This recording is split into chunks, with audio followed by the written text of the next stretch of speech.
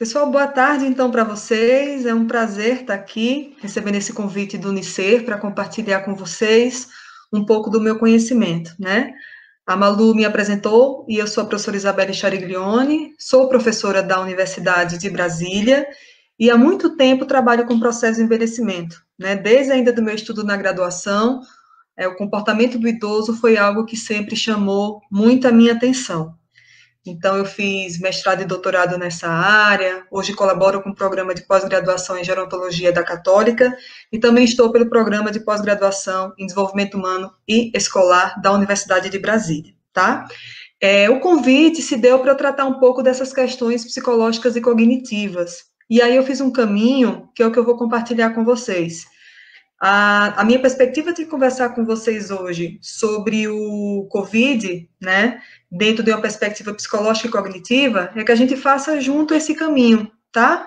Da gente relembrar algumas questões e algumas aulas que vocês já passaram, para entender que ainda estamos em um momento delicado e que a gente precisa ter cuidado em relação à Covid-19, mas o que eu vou focar mais hoje é na saúde psicológica e na saúde cognitiva, tá? Como é que vocês podem cuidar? A gente vai tratar de saúde dentro de um aspecto muito maior do que um aspecto apenas físico, tá bom? Então, convido vocês para a gente fazer essa, essa discussão. Eu estou acompanhando aqui também os comentários de vocês. A gente vai deixar, como a Malu falou, um tempo no final para discutir pontualmente, mas eu estou acompanhando. Se vocês quiserem dizer alguma coisa ou tiverem alguma dúvida, eu posso ir acompanhando isso aqui com vocês também, tá bom? Então vamos lá. Primeiro que eu vou apresentar para vocês em relação à minha fala é o meu plano de aula. Então, como eu falei, a gente vai começar discutindo as informações e as orientações gerais sobre a COVID. A gente vai falar sobre a importância da saúde psicológica e eu vou trazer algumas recomendações para vocês. Depois a gente vai tratar das recomendações da, da importância de uma saúde cognitiva, de um cérebro ativo, de um cuidado que a gente tem que ter também com a cognição especialmente no processo de envelhecimento, e eu vou trazer algumas recomendações para vocês, e no final a gente vai tirar algumas dúvidas, caso vocês não tenham entendido alguma coisa, caso vocês queiram ter acesso a outras informações, tá bom? Então vamos lá. É, Covid-19, né?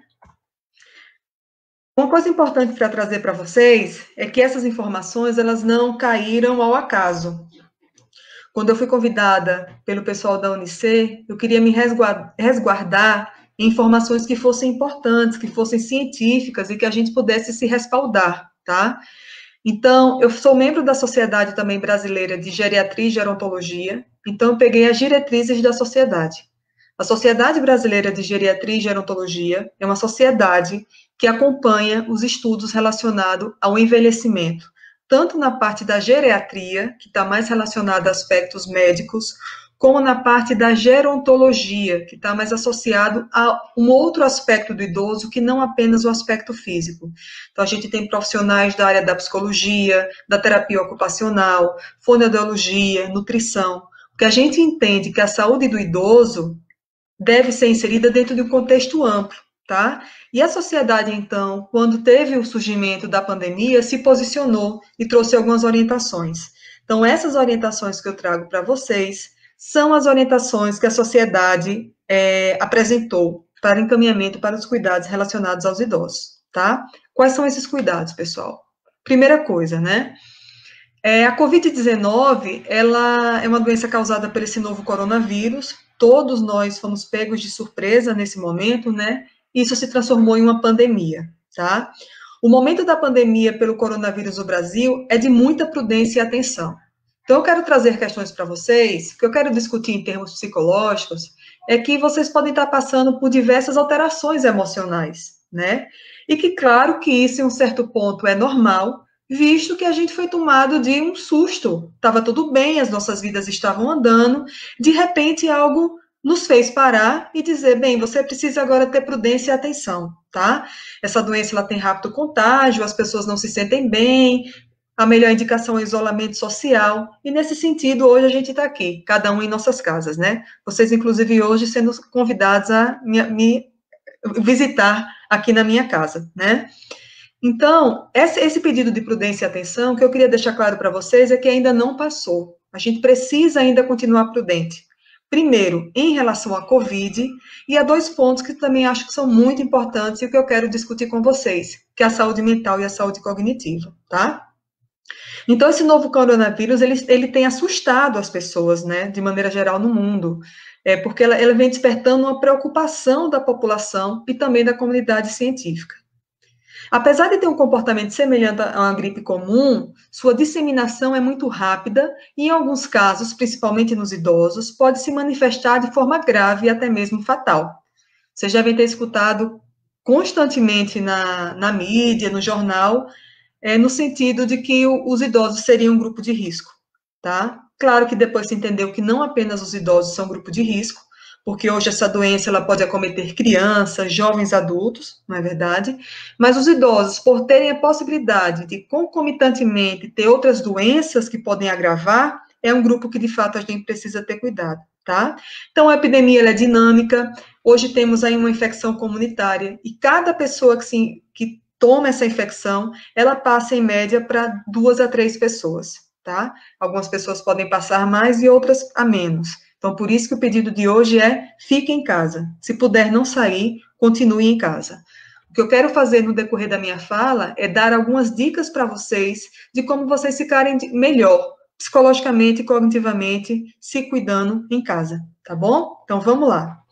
O Brasil, uma questão também que é muito delicada no nosso país, é que o Brasil ele é continental, né? com muitas cidades, com muitos estados, cada um reagindo de maneira diferente, tendo fases distintas de maneira bastante diferente também dessa epidemia. Então, cuidar do idoso nesse momento depende muito de onde esse idoso está inserido, qual acesso que esse idoso tem à saúde e como a gente pode auxiliá-lo nesse momento, tá?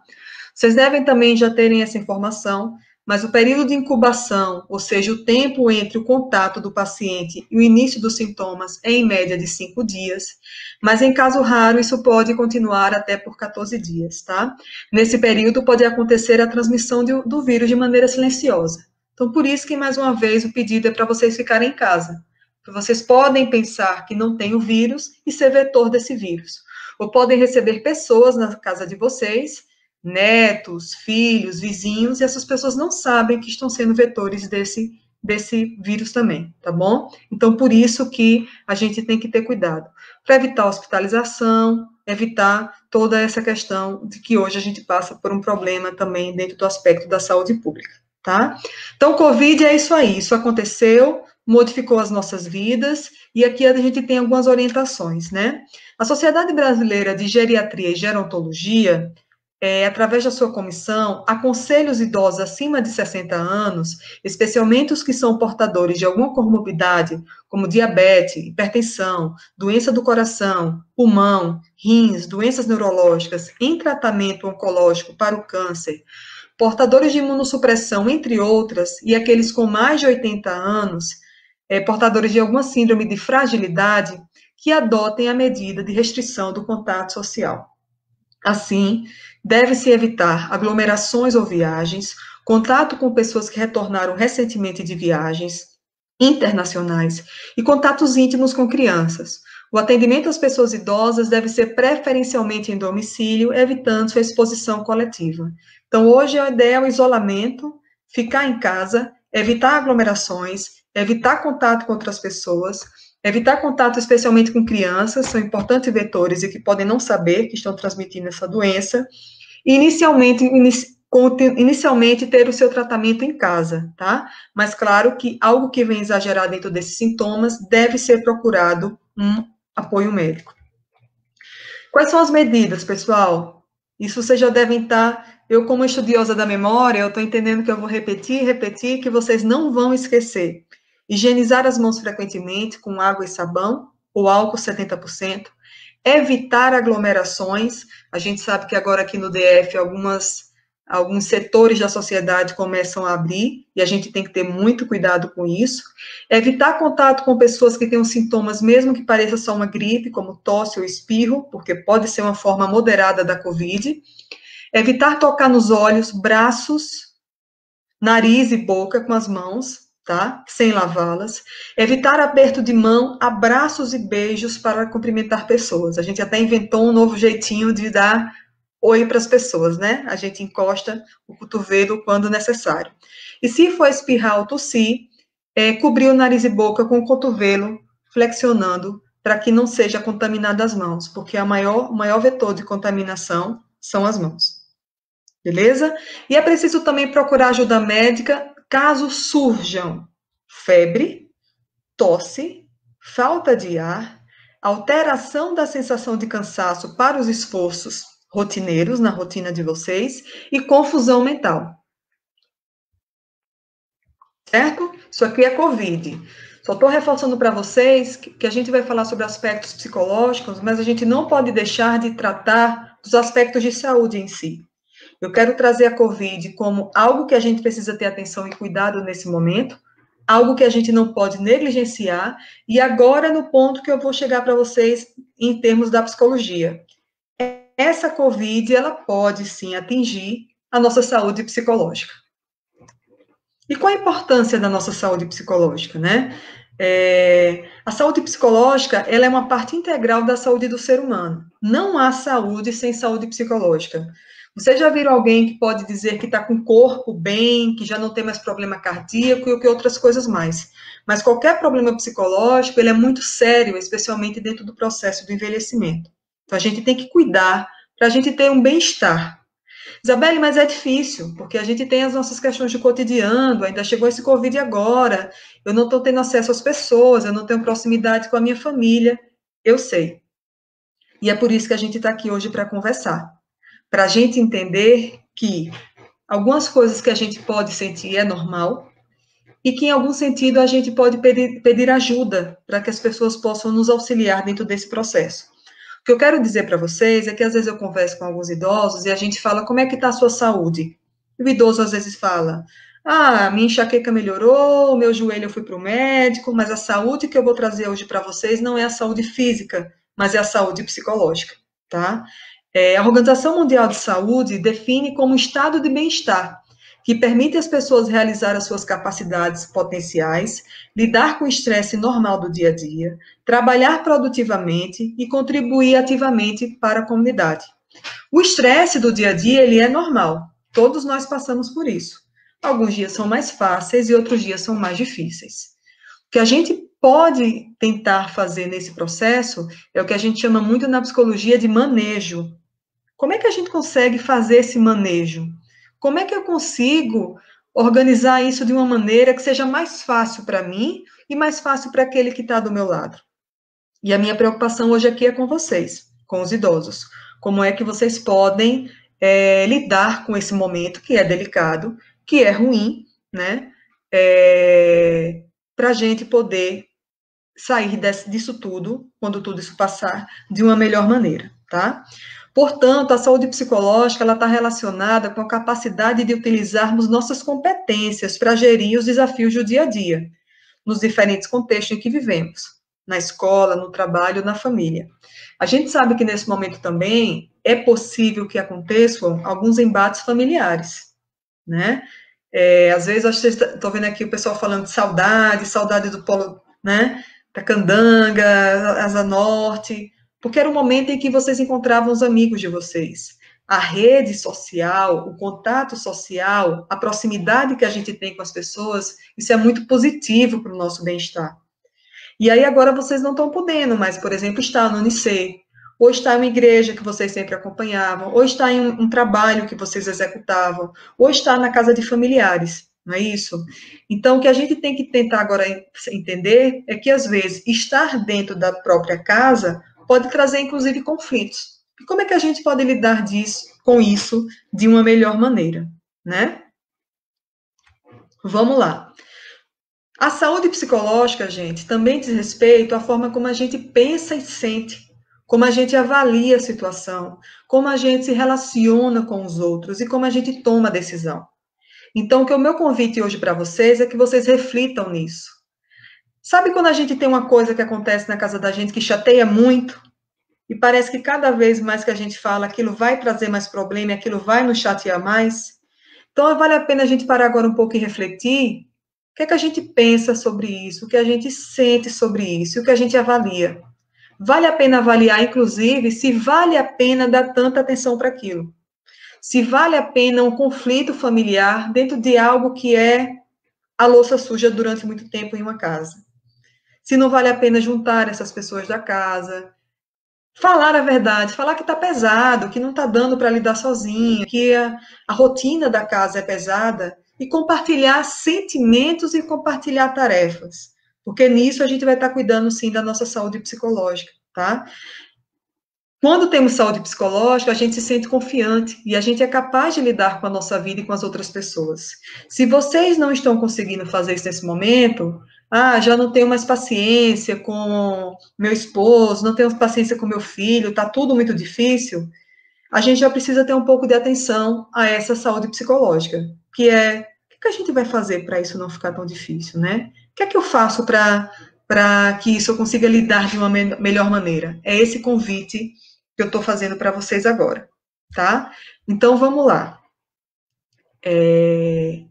é claro que todos temos momentos que nos sentimos sozinhos e a gente precisa viver isso, tá? Ficar um pouco triste ou ficar um pouco zangado, ok, nenhum problema. Eu não estou pedindo para vocês algo que não seja possível. Eu não quero dizer para vocês serem perfeitos, não se sangarem com ninguém, resolverem tudo. Não é isso. Eu estou dizendo que a maneira em que vocês pensam e sentem pode impactar na saúde, que vocês podem avaliar a situação e como melhor gerir e resolver essa situação. Se em um dado momento você se sentir sozinho, ok. Se isso demorar muito, é que a gente se preocupa. Às vezes, dentro de casa, a gente fala, não, deixa eu só me organizar um pouquinho aqui sozinha. Tá bem, vai dormir, vai descansar, vai ler um livro, tá bom? Sentir-se um pouco triste também, ok a gente fica um pouco triste, né? Eu agora não tenho contato com os meus pais, eu não consigo visitá-los, eu não consigo ajudá-los. E às vezes dá aquele sentimento de impotência frente a alguma situação. Mas ok, a gente não tem problema sentir isso, tá? Quando um acontecimento na nossa vida ou uma situação altera a forma como a gente costumava pensar ou sentir, isso pode ter algum problema na nossa saúde psicológica. E nesse caso, a nossa vida pode parecermos bastante difícil de gerir mas vamos torná-la mais fácil, tá? Existem diferentes graus de gravidade. Vocês já devem ter ouvido falar sobre isso. Eu sei que vocês já tiveram aula sobre isso, mas o assunto que eu estou trazendo hoje para vocês é depressão e ansiedade. Quando eu estou falando da saúde psicológica, eu quero saber do bem-estar de vocês, de como vocês se sentem. Quando eu falo de depressão e ansiedade, eu falo de patologias, eu falo de doenças em que são acometidas pessoas que não conseguem cuidar da sua saúde psicológica, não é? E esses problemas eles podem acontecer em qualquer idade. Eu não estou trazendo essa informação para vocês só agora porque vocês são idosos, né? As crianças podem passar por isso e algumas estão passando com saudade da escola, com saudade dos professores, com saudade dos avós, com saudade da antiga rotina. Os adultos também estão passando por isso, tá? E os idosos também estão passando por isso certo? É, então, mas isso que pode acontecer em qualquer idade interfere na nossa capacidade de realizar nossas atividades do dia a dia, de trabalhar, de aproveitar o nosso tempo. Então, a gente tem que ficar atenção, ter atenção a isso. Será que eu estou tendo algum impacto na minha saúde psicológica? Será que eu estou me sentindo mais ansiosa ou mais ansioso do que o comum? Será que essa tristeza, que é um pouco, ela pode estar se desenvolvendo e se tornando algo mais específico e pontual, tá? Essa é uma questão que a gente tem que ver também. É esse cuidado que eu peço para vocês, tá? E, e, e, e, experimentar esse tipo de situação, que se refere à saúde psicológica em relação à depressão e ansiedade, pode ser perturbador, sim, pode ser assustador. Muitas pessoas podem estar sentindo isso e nunca terem sentido antes, né? É, pode sentir que não há solução, pode achar que vai perder o controle, pode ficar. E é esse convite que eu falo para vocês. Se em algum momento vocês sentirem isso, parem, respirem e tentem se reorganizar, tá? Se você não conseguir se organizar dessa maneira, eu vou dar algumas dicas mais à frente para vocês. Vocês vão precisar da ajuda de alguém. Mas às vezes é uma questão situacional. A situação que a gente passa no momento do Covid, ela pode desencadear questões de ansiedade ou questões de depressão, não apenas no idoso, mas em, em toda a população de maneira geral, independente da idade. Tá? Qual a importância, de, gente, da nossa saúde psicológica, né? É, um problema de saúde psicológica não é diferente também de um problema de saúde física. Reconhecer precocemente os sintomas e procurar ajuda é fundamental, tal como pode acontecer com as doenças físicas, por exemplo. Problemas de saúde psicológica também podem ser ultrapassadas e é um conjunto de coisas que podemos fazer e que podem nos ajudar a melhorar a nossa saúde psicológica. Existem muitos tratamentos eficazes e é possível recuperarmos e vivermos uma vida plena, produtiva e feliz. Então, a gente tem que estar atento à nossa saúde psicológica, como a gente sempre está atento à nossa saúde física. Se a gente reconhece precocemente, a gente pode correr e pedir ajuda. A gente pode pedir ajuda às próprias pessoas que estão em casa com a gente, dizer, olha, não estou me sentindo bem, tem horas que eu me sinto triste, tem horas que eu me sinto muito triste. Às vezes, o simples fato, que não é simples, mas a gente compartilhar o nosso sentimento, de sentir ser escutado por alguém e até de ser ajudado nas atividades rotineiras do dia a dia, já tira um peso muito grande da gente. E se isso não der certo, aí é necessário procurar uma ajuda, sim, de um profissional, tá bom? Quais são as minhas recomendações, então, gente? Seguindo esse roteiro da aula, a gente falou sobre o Covid e sobre o que a Covid pode impactar na nossa vida. A gente falou agora psicologicamente, né? É, como é que a gente pode se sentir? Se sentir um pouco triste, se sentir um pouco ansiosa, ansioso? Será que essa minha tristeza ela é normal? Será que eu tô me... A gente precisa falar sobre isso. A gente só não pode achar que a gente vai resolver só e não compartilhar. A gente tem que cuidar de como a gente tem essas informações e quem está com a gente para ajudar dentro desse momento e nessas informações, tá?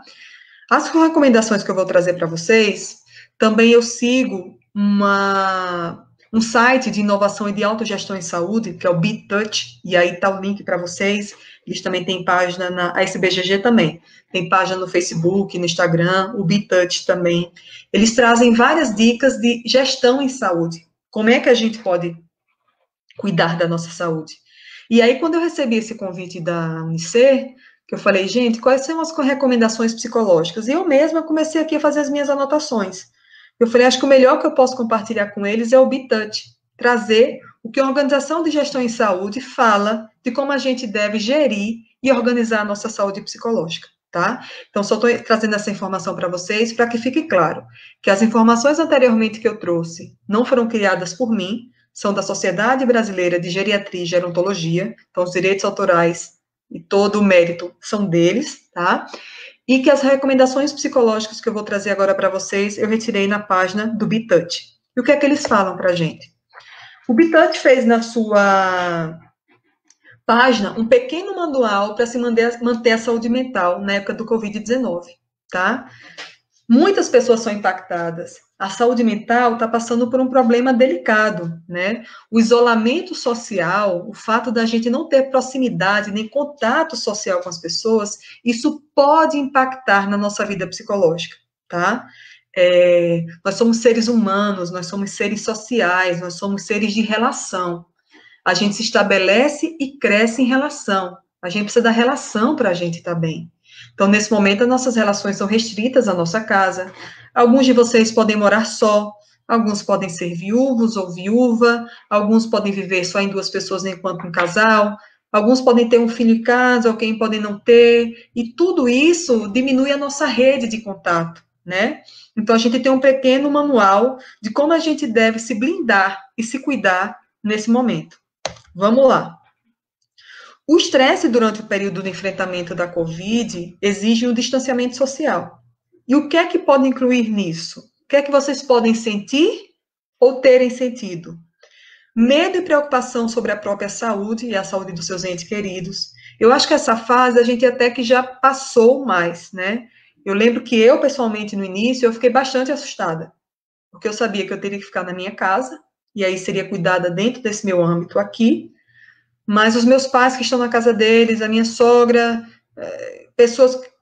E como é que vai estar a saúde deles? E, se, e aí você fica um pouco, até que o tempo vai passando, e psicologicamente o nosso cérebro é tão maravilhoso que ele vai se adequando. É como se ele fosse dizendo para mim, Isabelle, tranquilize, se você não vai conseguir resolver nada agora, porque não depende de você. A gente está passando por uma pandemia, mas esse medo eu tive, tá? Alguns de vocês podem ter tido também. Mudança no padrão de sono, ingestão alimentar. Escutei muito isso de vários idosos preocupados entrando em contato comigo. O horário que normalmente dormiam, vão para a cama e não conseguem dormir, ficam pensando e ruminando alguma informação. Ou geralmente pela manhã acordavam mais tarde, estão acordando mais cedo. Se alimentaram muito mais ou se alimentaram menos, tiveram perda de peso. Isso tudo tem a ver com seu organismo físico sendo impactado por algo que vem de fora, tá? Doenças crônicas, alguns que já tiveram dor crônica, dizem que podem ter é, exacerbado essa dor, e aumento de consumo de álcool, tabaco e outras drogas. É uma questão também que pode acontecer, né? E o que é que a gente faz com tudo isso então, pessoal? Primeira questão, filtrar as informações. Essa é uma questão que é muito importante trazer para vocês. Nos grupos nossos, nos grupos de vocês, de WhatsApp especialmente, é muita informação é, informação falando sobre o que você deve fazer, o que é que mata a Covid, e toma chá, e não toma chá, e bota limão, e bota gota, e tira gota. E eu vi até um dia desse uma informação dizendo que era para aumentar o consumo de camarão, porque camarão era bom para o Covid. Eu até brinquei aqui em casa, falei, camarão é bom para quem gosta de camarão, né? Agora, dizer que o camarão vai aumentar o sistema imunológico, proteger do Covid, a gente tem que ter cuidado. Eu não tenho nenhum estudo que faça esse tipo de acompanhamento. Só que essas fake news, elas vão deixando a gente muito preocupada. Então, coisas do tipo, cuidado quando você pega no trinco, no trinco não sei o quê, se você, pessoa até 20 dias depois, pode passar o... E aí ficam com dados e informações que a gente vai ficando muito confuso, né? Então, no dia a dia de vocês, no acordar, no se alimentar, não ter um tempo para uma televisão, tempo para uma família, cuidar das, das questões gerais da casa, a gente deve filtrar um pouco essas informações, né? Sempre duvidem, especialmente aquelas que são trágicas e parece que elas são disparadas justamente para nos assustar. Muitas são rumores, fake news ou próprias especulações que vão gerar só mais ansiedade. E se você já tem uma tendência a ter uma ansiedade ou está dentro de um quadro depressivo, essas preocupações só vão aumentar tá? Uma coisa muito importante também que o B-Touch trouxe dentro das suas orientações: aproveite o lado bom. Tudo na vida existe um lado mais positivo e um lado negativo.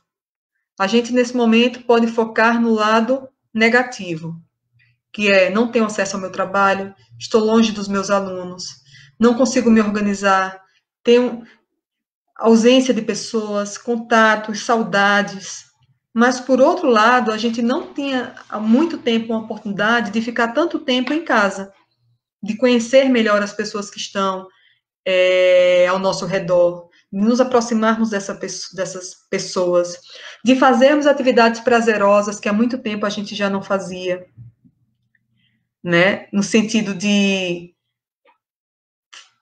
de um, algo que a gente estava aprendendo, de algo motor, de, de dormir, de se alimentar melhor, de cuidar da sua alimentação.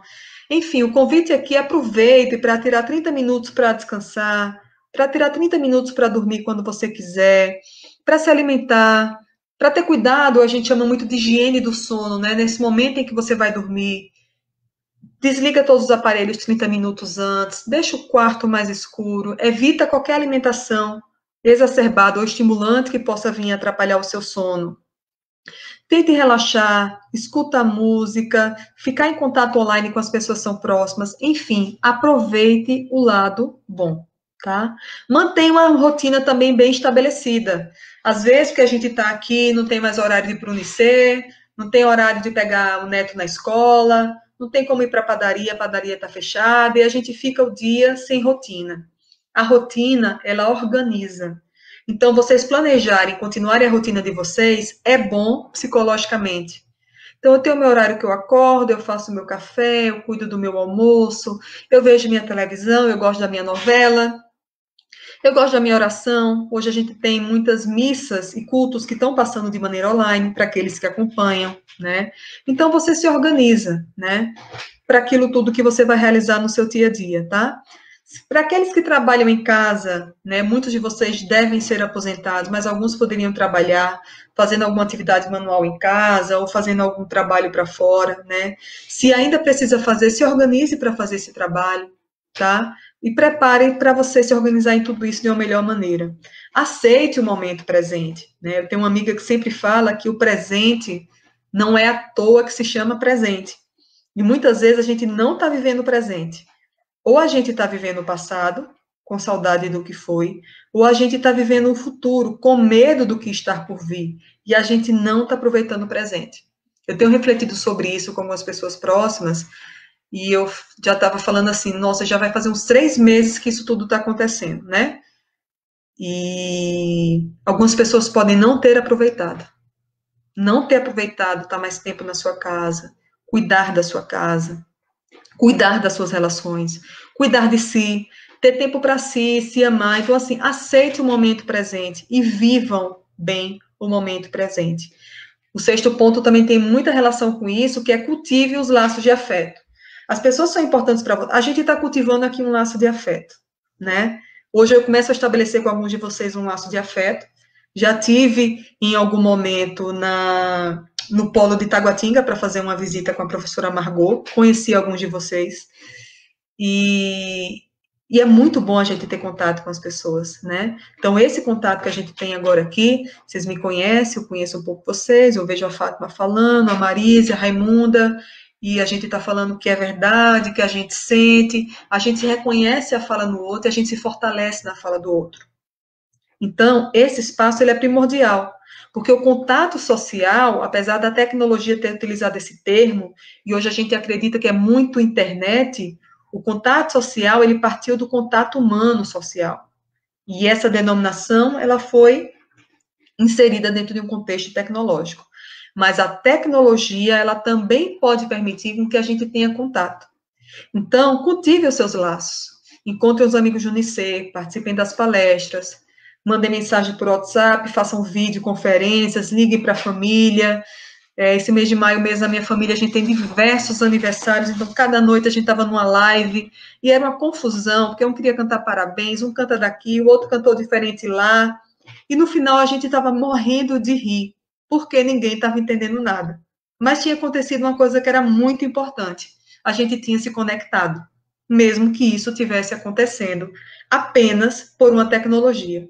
Mas entendam que essa tecnologia hoje nos permite fazer isso. A gente pode usar muito da tecnologia para entrar em contato com alguém quando a gente não estiver bem. Para nos vermos, tá? Para nos aproximarmos. Finalizando aqui é, os nossos pontos, manter corpo também em equilíbrio. Cuidem do corpo de vocês. A gente está numa correria tão grande que eu, eu falo que algumas pessoas elas não sabem nem respirar. E se a gente estiver muito ansioso, correndo muito, para, respira.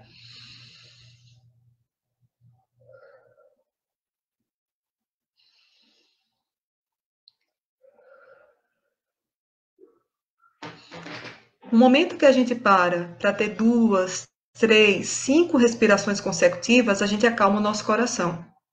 A gente tranquiliza o nosso batimento cardíaco, tá?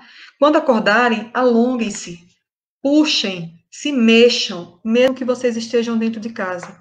Quem gostar de meditar, medita. Quem quiser procurar, tem aplicativo pela internet.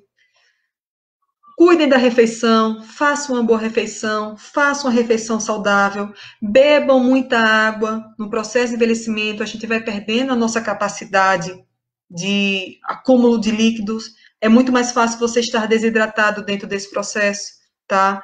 Evite o uso abusivo de álcool, evite o tabaco e outras drogas também. Cuide do seu corpo, desse seu templo psicológico que lhe permite viver essa vida, né?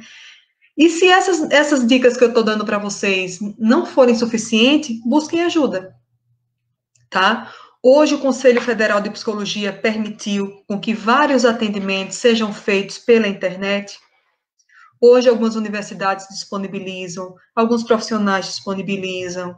Já vi grupos que estão fazendo atendimento gratuito para pessoas que não estejam se sentindo bem, se inscrevam. O CVV existe para isso também, 188, tá certo?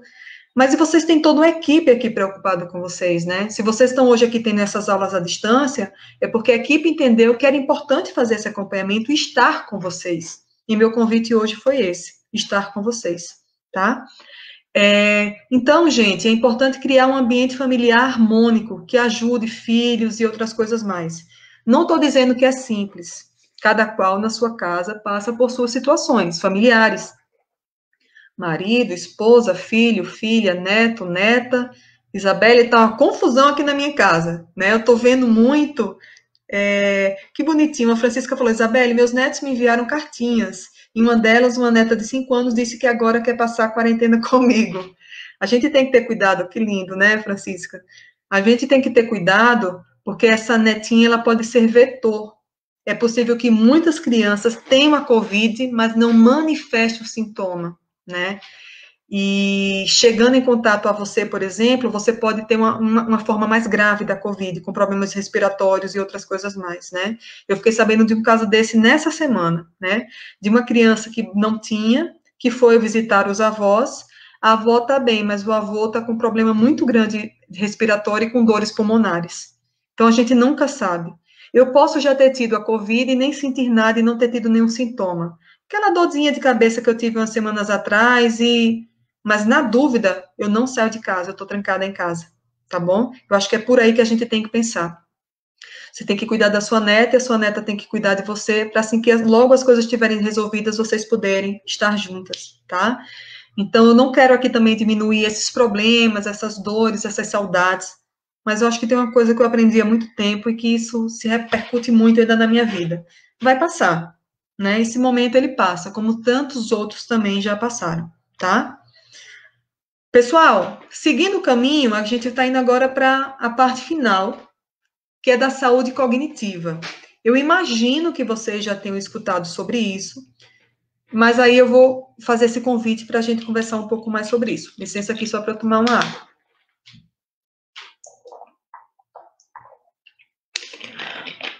Pronto, hidratada, né? Peço para vocês tomarem água, eu tenho que tomar água também. Vamos lá. Falamos da Covid, aspectos físicos. Falamos da Covid, impacto psicológico, ansiedade, depressão, tristeza.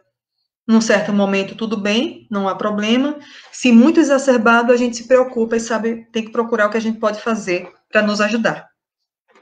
Saúde cognitiva. Vocês já devem ter ouvido falar na cognição. Cognição, ela fala do, de como a gente conhece, de como a gente interage com esse mundo, né? Cognição, quem controla a cognição de vocês, perdão, o aspecto cognitivo é o cérebro. Então, o que a gente discute muito no envelhecimento é ter um cérebro saudável, um cérebro ativo. Tá? É, tô vendo aqui vocês agradecendo a aula. Excelente aula, muito obrigada, gente. Meu convite agora para vocês, então, é para cuidar do cérebro. Isabelle, eu posso cuidar do meu cérebro? Pode. O cérebro é um órgão como outro do nosso corpo, ele precisa de cuidado. Quando a gente vai envelhecendo, o nosso músculo vai diminuindo em tamanho, vocês devem perceber isso.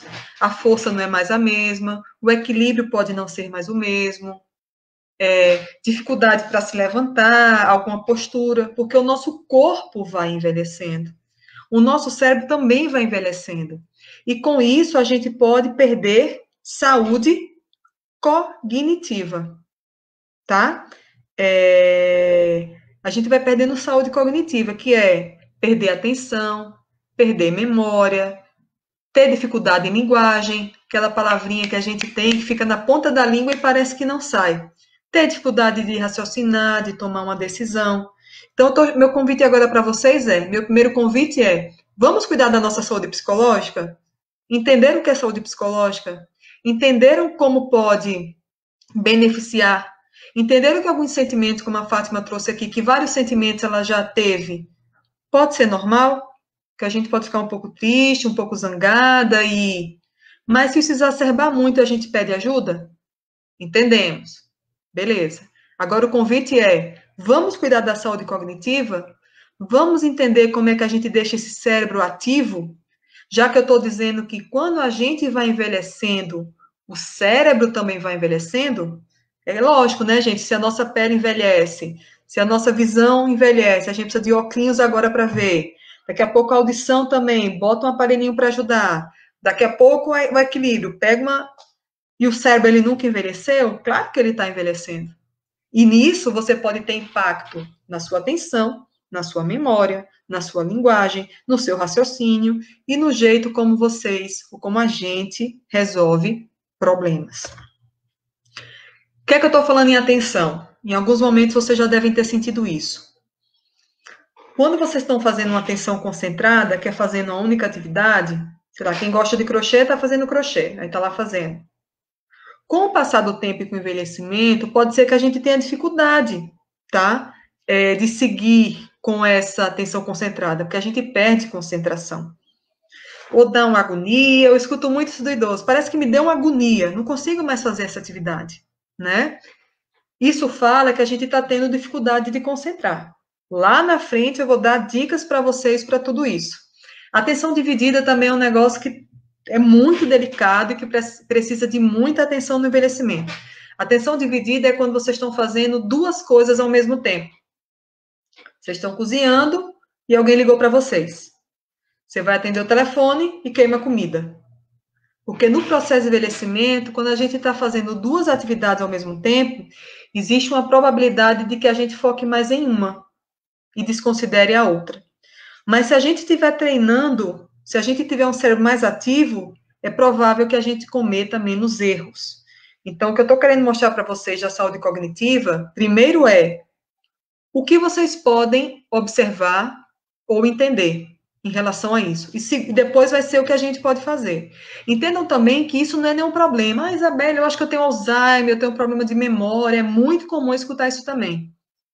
Porque eu fui, estava cozinhando e minha filha me ligou e eu queimei minha comida. Queimei o meu arroz. É muito comum no processo de envelhecimento que isso aconteça. Aliás, quão mais a gente envelhece, é mais possível que a gente tenha problemas atencionais. Alguns idosos passam por isso muito bem e não são impactados em nada disso, tá? Mas alguns outros idosos podem ser mais impactados. Como é que eu posso melhorar? A gente vai já falar sobre isso, Francimar. Falando especificamente sobre atenção, a gente pode ficar mais atento uma primeira coisa é ficar mais atento, sabendo, olha, a Isabelle me falou que no envelhecimento eu posso ter dificuldade em atenção dividida. Então eu vou evitar. Evitação também é um cuidado, né? Você está na cozinha e alguém ligou, mamãe, vem falar com não sei quem que é telefone. Quando eu terminar o meu almoço, eu ligo. Tentar fazer duas, três atividades ao mesmo tempo pode ser bastante desafiador para esse cérebro que está envelhecendo. Então, dê preferência a uma e faça uma atividade por vez. Memória. Memória é o grande carrasco do processo de envelhecimento, né? Na verdade, nem do processo de envelhecimento. Às vezes eu estou na faculdade, estou discutindo com os alunos, e eles fazem, eles falam, professor, eu tenho um problema de memória. Né? Para a gente entender que se vocês trazem problema de memória, muito precocemente outras pessoas já trazem mas que às vezes lá anteriormente nos, nos adolescentes e nos adultos podem ser problema de atenção, porque se a gente não está com atenção e não prestou atenção no que a gente está fazendo, a gente vai ter um impacto na memória, depois a gente não lembra. Tem duas memórias que é muito importante vocês terem atenção, que é a de curto prazo e a de longo. A de curto é essa que a gente trabalha no curto espaço de tempo. Então, eu posso chegar para alguém, eu posso chegar para a Malu e falar, Malu, é... você poderia ligar e falar com a, com a Margot? Você pode entrar em contato com a Margot e dar esse recado? O recado é esse. Acabei de dar para a Malu. Aí eu saio, daqui a pouco a Malu volta e fala, Isabelle, qual era o recado mesmo? É para falar para quem? Isso é curto prazo. Ela não conseguiu guardar no curto prazo. Para quem era a informação, nem qual era a informação. A Silvana falou que sente muita dificuldade em responder uma pergunta quando está fazendo outra coisa. Então, Silvana, para. Isso acontece também. Às vezes você está fazendo uma coisa e alguém quer conversar. Fala, você pode deixar terminar esse almoço, a gente conversa? Ou às vezes você está assistindo um jornal e alguém quer conversar. E aí tem hora que você fala, qual foi a notícia do jornal? Ah, não sei, o menino estava falando aqui do meu lado. Entendam que é normal. Até porque você ter o jornal falando, um repórter falando, e você ter outra pessoa do seu lado falando, você tem duas informações que estão competindo pela mesma área cerebral. Chega lá, é muita informação para ser organizada. E quanto mais velho estamos, maior dificuldade temos de organizar essa informação, tá? Mas então, voltando aqui para a memória, a gente tem curto e longo. A longo é a que hoje, às vezes, a gente ainda tem mais familiaridade. Eu posso perguntar para vocês uma coisa muito breve e vocês vão esquecer. E é normal no processo de envelhecimento a gente ter inicialmente impacto em, curta, em curto prazo. Mas se eu perguntar para vocês há 20 anos atrás, há 30 anos atrás, na adolescência de vocês, um casamento, vocês vão lembrar dessa informação, porque ela está guardada no longo prazo, né? Nosso problema hoje é o quê? É o que a gente chama de curto prazo ou ainda na prospectiva, que é o que vai para frente, que é a próxima memória que eu trazer para vocês. Retrospectiva, eu lembro. Prospectiva, eu esqueço. E às vezes a prospectiva, ela é para frente, ela é longo prazo, que a gente tem que realizar. Nosso problema, sabe qual é? Às vezes que eu escuto muito dos idosos, eu tenho que tomar um remédio às 14 horas. E dá o horário do remédio, o idoso não toma. Isabelle, o que é que eu faço? Gente, hoje a gente tem celular, bota um despertador no celular, bola tal DEM para marcar, fala com o filho. Hoje existe até aplicativos de autogestão de medicamento. Você coloca os remedinhos que você tem, os horários que você gosta de tomar, e cada horáriozinho o aplicativo vai lhe lembrar. Ou às vezes alguns idosos também tomam um determinado horário, já deixam um local. Não, quando eu acordo que passo para a cozinha, eu já vejo que meu remédio está ali, eu tomo. Tem que ter uma pista para o cérebro porque o cérebro envelhecendo, ele vai perdendo um pouco de capacidade de memória. E eu queria que vocês não ficassem tão preocupados, porque é muito comum que se diga, é Alzheimer, é envelhecimento, é, é um envelhecimento normal, é um impacto normal. Com o passar da vida, a gente vai perdendo sim um pouco de memória e a gente vai ficando um pouco mais desatento. Então, o que eu estou trazendo para vocês essa informação é para que vocês saibam disso e para que vocês, sabendo disso, possam se guardar de uma melhor maneira né? E aí fica, tomei o remédio ou não? Aí essa depois, depois é isso, né? E aí você passou, não anotou, não prestou atenção, e aí depois fala, né? É igual alguém liga, liga para a filha, minha filha é o seguinte, ó, e agora eu não sei se eu tomei o remédio. Já deu duas horas, porque você não lembra, você não estava atenta. Então, se você vai marcar, se você vai usar um aplicativo, se você vai colocar em um local estratégico, esse tem que ser um cuidado que deve se ter linguagem. A linguagem é o jeito com que a gente se comunica com o mundo. O que a gente está fazendo aqui agora é primordial. Eu falo, essa informação entra, vocês compreendem, se organizam, decidem o que vão escutar, o que não vão, o que quer, o que não quer, lembram de uma história. Então, a linguagem organiza a gente. Então, uma das questões também da gente estar distante das pessoas que impactam cognitivamente é a nossa linguagem é a maneira em que a gente fala. Vocês lembram, no início da aula eu falei o seguinte: se algo estiver incomodando vocês, falem. Porque falar organiza o pensamento. Falar, a gente treina a fala, treina a nossa expressão, né? É, se faz muito importante é, que a gente se organize dentro dessa, desse momento, né? Estou vendo algumas pessoas falando que tem muita dificuldade de criar novos hábitos, né? Tomar medicação, usar um colírio. Tem que ter uma rotina e tem que ter uma pista que lhe lembre exatamente do que você tem que fazer. Raciocínio, com envelhecimento também parece que às vezes a gente perde. Eu até fiz uma brincadeira aqui com vocês, coloquei uma linha entre o cérebro e uma ideia, como se a gente tivesse chegado a um raciocínio, né? No processo de envelhecimento parece que essa linha Menina, eu estava fazendo uma coisa e me esqueci o que, é que eu estava fazendo. Nossa, eu ia resolver isso e não sei mais o que é que eu vou fazer. E então a gente precisa mais de atenção e concentração. Se essa dificuldade é porque tem muita gente perto, é porque tem barulho, é porque a TV está ligada, é porque está fazendo a comida, é porque se organizem, façam uma coisa por vez. Dê atenção ao que você está fazendo. A atenção é um ponto muito importante para os aspectos memória. Estando atento, você consegue, ou estando atenta, você consegue cuidar melhor da sua organização. Ok? E aí também vocês conseguem melhor resolver os seus problemas pessoais e financeiros. tá? Então, alguns problemas pessoais, como é que eu resolvo isso, como é que eu falo sobre isso, como é que eu lido com isso. Alguns idosos no processo de envelhecimento entram em declínio, entram em quadros demenciais, que não é o caso do que eu estou discutindo aqui. Daqui a pouco eles não conseguem gerir seu próprio dinheiro, ou têm dificuldade, ou isso fala de uma saúde cognitiva que não foi desenvolvida, de um cuidado que não se teve com o cérebro desse idoso. Teve cuidado com a pele, teve cuidado com o dentista, teve cuidado com um monte de coisa e acha que o cérebro é uma coisa que se resolve por si só. O cérebro precisa ser treinado. Eu falei para vocês do corpo da gente e da musculação. Enquanto a gente quer ter um bom corpo, a gente vai para a musculação e faz. Quando a gente para, o corpo da gente também para. O cérebro da gente, a gente pode fazer essa analogia também. Estava trabalhando, estava com o cérebro ativo, estava acontecendo milhões de coisas, você tem uma maior probabilidade de ter, uma, melhor saúde cognitiva. Tá? Quando você começa a não ter esse cérebro tão ativo, você vai vendo o impacto. E às vezes o impacto vem tanto em aspectos psicológicos, ansiedade depressão, como em aspectos cognitivos mais desatento, mais problema de memória, mais problema de raciocínio, mais problema de... E aí esses problemas vão vir, tá certo?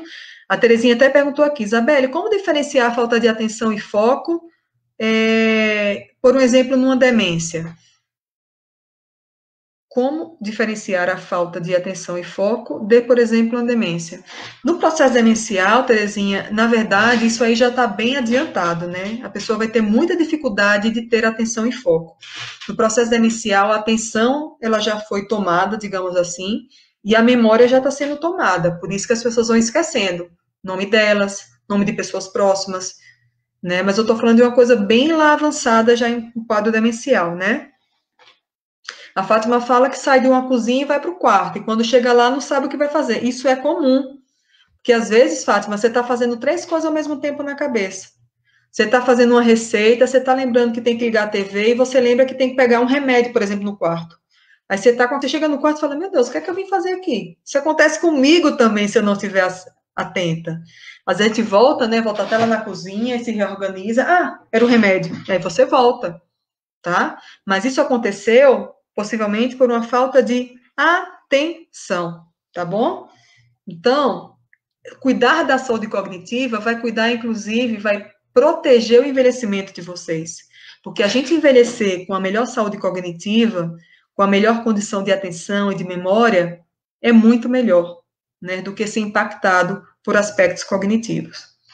Recomendações, Isabelle? Algumas. Trouxe aqui para vocês, tá? Essas são minhas mesmo, eu não peguei de lugar algum, tá? Mas tem muito, tá muito inserido e pautado dentro do que a gente conversou até agora. E nisso eu já estou finalizando a minha fala, tá? Para a gente conversar um pouco mais e saber se vocês têm alguma dúvida. Mas a primeira é momentos de relaxamento.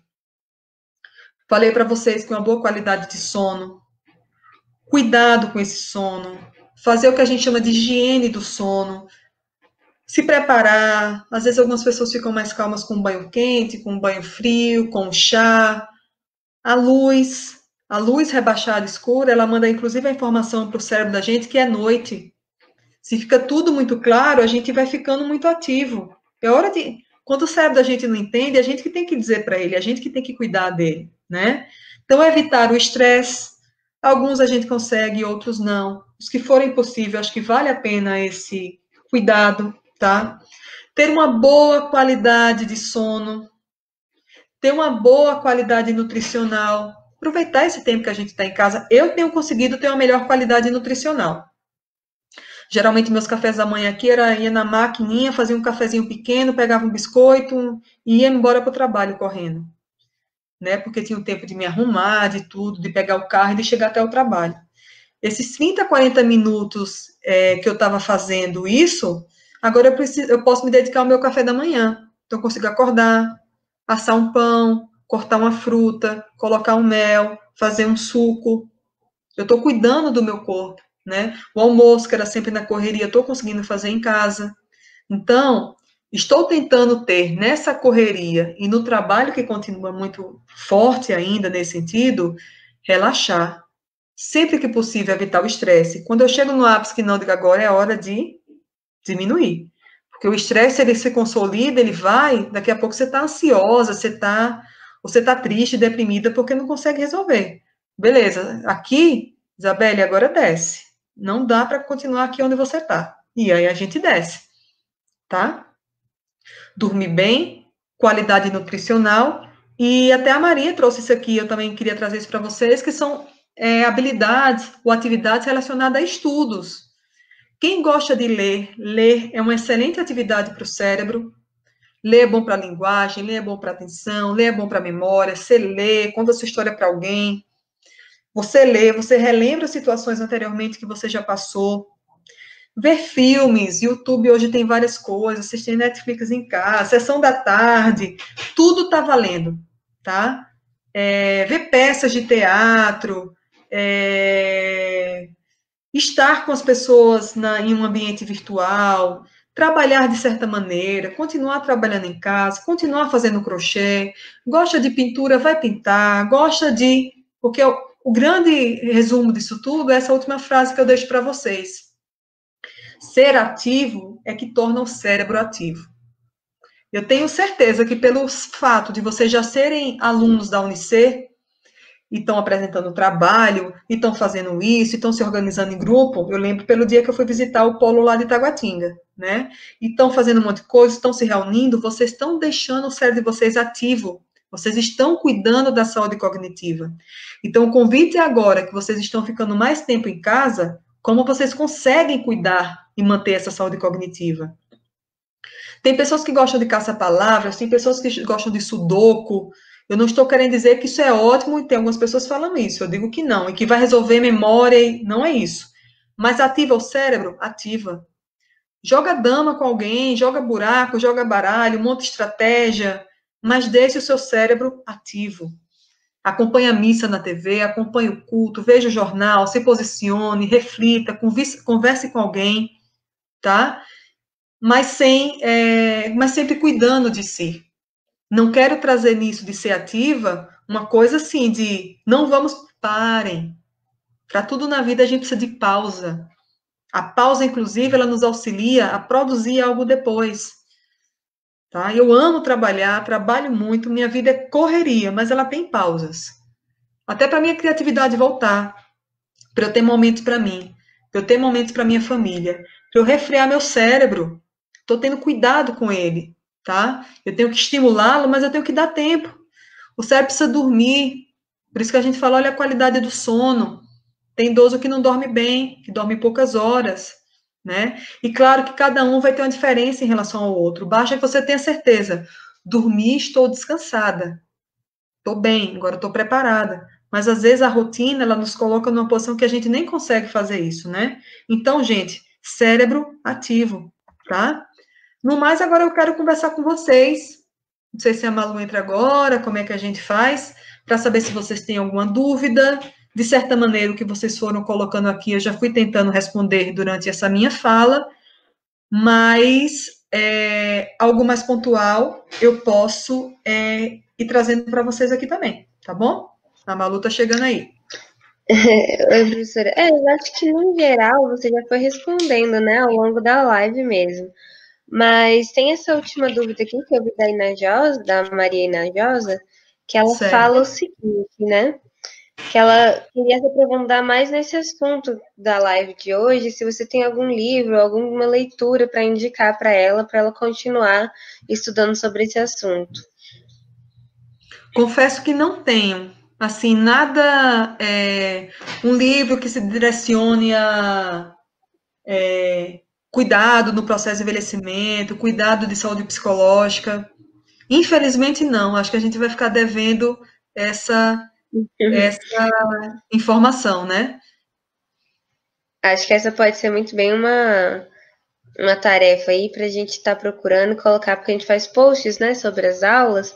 Então, acho que essa Isso. é uma tarefa aí que a gente pode trazer para mais tarde, né? Assim, nos, nos posts do Instagram ou do Facebook, a gente pode estar tá indicando algumas leituras sobre esse assunto.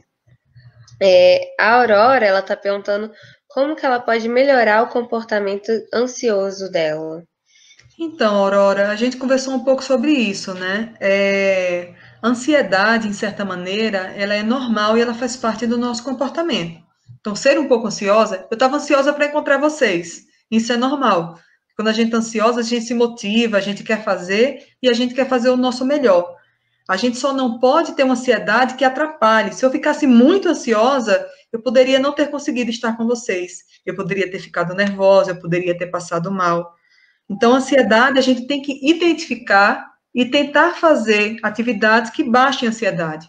Pessoas leem e dizem que diminui a ansiedade, pessoas meditam, é, exercícios de respiração, como eu trouxe para vocês também, são muito importantes.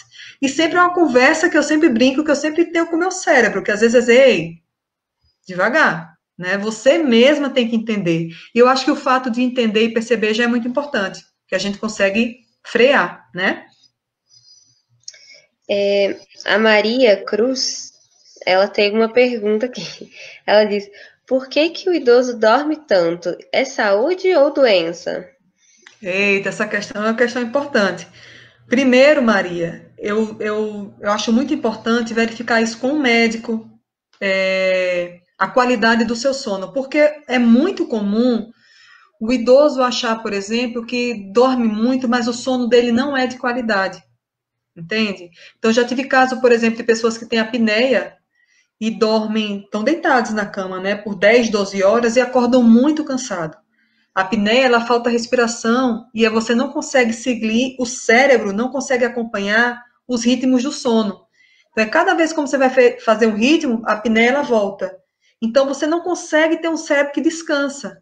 Então, apesar de você ter ficado 10, 12 horas, você não descansou o seu cérebro. E aqui é aquela pessoa que é em todo lugar que para, dorme, né? E aí diz, nossa, já passei 10 horas dormindo, tá bom? Encosta, dorme, encosta. Então é importante entender. Eu não quero dizer que dormir muito está relacionado à saúde ou à doença. Se a gente pode dormir muito, tem idoso que gosta de dormir, tem adulto, tem jovem que gosta de dormir muito, tem jovem que gosta de dormir pouco. A quantidade de hora para cada um é muito específica, eu não posso aqui generalizar. De maneira geral, a gente fala que é umas oito horas. Algumas pessoas precisam de mais, outras pessoas precisam de menos. Mas é importante você verificar, às vezes até fazer um, um exame de polissonografia e verificar se o seu sono à noite, de fato, ele tem sido restaurador. Você tem qualidade nesse sono. Você tendo uma boa qualidade de sono, o resto do dia você passa bem. É, a Silvana, ela faz uma pergunta que também é bem relacionada com a. Ixi, já aqui, ó. A Silvana ela pergunta o seguinte, né? O que eu posso fazer para diminuir a ansiedade durante a pandemia e o medo? Eu acho que você falou bastante já sobre isso durante a aula, né? Mas. Eu acho que é isso, Silvana, é cuidar do seu psicológico e cuidar do seu cognitivo ter um pouco de ansiedade, um pouco de pandemia no medo é normal. Em algum momento, todos nós tivemos e todos nós vamos ter. O, grande diferencial é o que a gente faz com isso. Se a gente se deixa tomar pela ansiedade, se a gente pede ajuda, como a gente consegue se organizar? Eu acho que essa é uma questão. É, falando também né, sobre organização, a pergunta da Francisca é por aí, né? Porque ela diz que é sobre alimentação, porque ela não está conseguindo almoçar no horário normal. Isso é normal? nesse momento? Nesse momento isso é normal porque a gente está um pouco desorganizado, mas o ideal é que a gente continue em uma organização. Então, quando começa, a gente está meio sem entender como as coisas estão acontecendo, mas se você puder manter uma rotina, acordar, ter cuidado com sua alimentação, tomar seu café, dê tantas horas para você almoçar, porque inclusive você consegue ter uma melhor absorção nutricional, um cuidado nutricional, né? não pula nenhuma alimentação. Sei de pessoas que acordam 10, 11 horas, e tomam café, depois só lancham alguma coisa, só jantam e, e nisso você não está cuidando do seu corpo nesse sentido, né? As rotinas, elas ajudam muito nesse sentido. É, no mais, professora, eu acho que a gente já pode estar encerrando a nossa aula, né? Você já ficou aqui durante uma hora que a gente havia planejado. Uhum. Eu queria muito agradecer a sua presença, agradecer todas essas informações que você falou, inclusive, né, deixar claro que essa realmente foi uma live que muita gente pediu para a gente para falar sobre essa questão da né, da ansiedade que a gente vem sentindo durante a pandemia, e eu acredito que, né, a sua aula foi extremamente esclarecedora, foi para mim também, então eu queria deixar muito obrigada para você, e fica aí o seu espaço para encerrar da forma que você achar melhor. Tá bom, gente. Eu queria só agradecer também, dizer que é um prazer. Eu, enquanto estudiosa do envelhecimento, me interessa muito essa fala, me interessa muito trazer esse tipo de informação para o idoso. Então, agradecer, espero que tenha sido proveitoso para vocês, que vocês saiam com essa reflexão daqui, né? E precisando, eu estou sempre disponível para estar junto de vocês. Temos esse combinado, tá bom? Então é isso. Muito obrigada, professora. Até mais. Obrigada, gente. Até uma próxima oportunidade. Tchau. tchau, tchau. Pessoal, e vocês não saiam daí, porque agora a gente vem com a professora Eliana. Ela vai deixar um recado para vocês, explicar como é que vai ser o funcionamento das nossas lives a partir de segunda-feira. A professora Eliana já está aqui com a gente de novo. Pode ir, Eli. Oi, gente, tudo bem? Espero que agora dê tudo certo, né? Que a internet não me deixe na mão de novo. Para quem não me conhece, eu sou a professora Eliana Fortes Gris. Eu sou professora da UNB, da Faculdade de Ceilândia e do curso de farmácia. E eu ajudo é, a professora Margot na, em, algumas, em algumas partes da coordenação do curso. É, como vocês sabem, essas, essas lives e tudo isso que a gente está fazendo há praticamente dois meses, ele, isso é uma parte de um projeto que, que foi criado pela, pela Unicer, que se chama Projeto Ação né? E o que que a gente, porque né, o que a gente pensou que a Unicer poderia fazer durante esse, durante essa, isso que a gente está passando, né? Durante essa pandemia, já que todas as nossas aulas, né, para todos os nossos alunos, né, os que os que já faziam parte, né, da nossa família Unicer, eles estavam acostumados, né? A gente tinha aula todas as tardes e né? E era assim que acontecia. E hoje, né, a gente não consegue mais ter essa dinâmica, né? Então, a gente propôs essas lives que é, foram por volta de quase 40 lives, do qual a gente teve, então, né, vários temas sendo discutidos, muitos temas sobre o Covid, também vários, vários professores, pesquisadores, estudiosos foram convidados, e trouxeram para vocês tanto informações né, sobre o que a gente está passando, como também outras informações de, de grande interesse para todo mundo. E a partir da semana que vem, a gente vai continuar com esse projeto, né, que é o projeto Ação, e também vamos continuar com as lives, né, todos os dias, então, no mesmo horário, no mesmo local, né, às 15 horas, pelo, pelo Facebook. O que vai mudar então a partir da semana que vem? A partir da semana que vem, então, pode é. A gente vai testar com vocês, né? E vamos começar então um novo formato.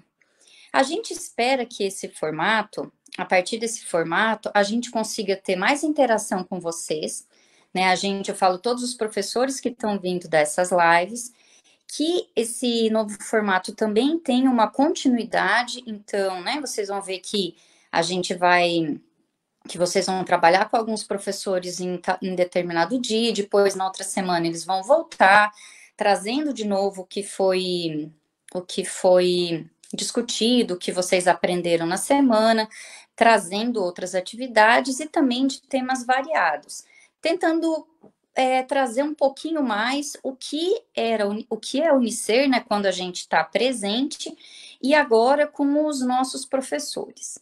A grande maioria de vocês, acredito que conheça também a grande maioria dos professores que, que vão participar dessa, dessa primeira etapa desse formato, mas quem não, quem ainda não os conhece, a gente faz um grande convite para que vocês participem. Eu acredito que vocês vão gostar bastante e a gente quer e espera muito a interação de vocês, porque a gente pensou muito nesse formato para que vocês pudessem também participar, né? Não a gente só trazer as informações que são muito importantes e que tiveram, né, uma, uma validade muito grande, um valor muito grande, mas que vocês também possam interagir mais com, com tudo que tá, com tudo que a gente pode oferecer para vocês. Pode passar, Malu, próximo. Então, esse novo formato, ele vai, ele vai ser na, na forma de mini cursos, né? O que são mini cursos? Mini cursos são pequenos cursos, né, de, de, de uma duração, né, de uma curta duração. Aqui eles vão durar, então, quatro semanas. E toda semana vai vir uma mesma equipe de professor a cada dia, né, que a gente vai mostrar, então, para vocês, com o mesmo tema. Então, a partir, é, no final dessas, dessas quatro semanas, vocês vão ter aprendido sobre um tema, né, que vai ser então sobre, sobre esses mini cursos. Vocês vão ter feito atividades sobre esses mini cursos, vocês vão conseguir interagir com os professores é, fazendo esses mini cursos. E a gente espera que vocês gostem bastante. É, como eu já falei, vai ser via Facebook, Facebook da Unicer, como está sendo essa, e posteriormente a gente vai fazer da mesma forma, né, como a comunicação já está fazendo, a gente vai colocar então no YouTube para que, né, se vocês não possam ter assistido exatamente às 15 horas quando ele passou, mas vocês não percam esse conteúdo e possam interagir e ter então todas, eh, todas essas informações com vocês. Pode passar, Malu que daí agora, vou, agora a gente vai mostrar.